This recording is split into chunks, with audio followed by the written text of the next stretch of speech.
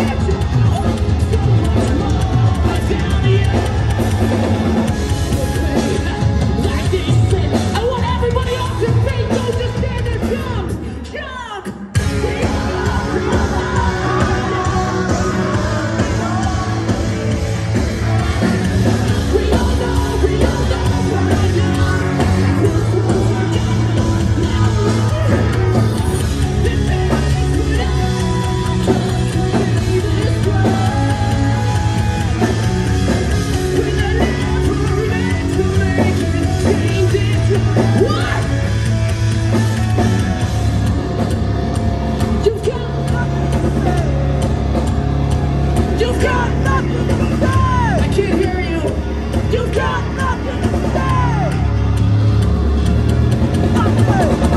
students I'd love to go and fly.